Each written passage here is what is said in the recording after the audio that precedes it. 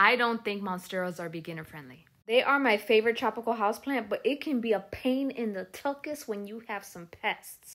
And the bigger the plant, the bigger the trouble.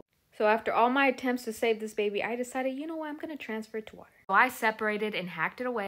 I rinsed off all those roots with the hose and I got all up in there in those leaves and those crevices. This was in September, so this is what it looks like now. One of those damaged leaves. Grown roots and a new baby. And another. There's a new girl. Look at that new girl. Once a week, I change out all the water. I clean off those roots. Once a month, I add my liquid fertilizer to it. And another one. Look at those roots. So if you don't know what to do with your Monstera, don't be afraid to hack it away. Start off new and in water.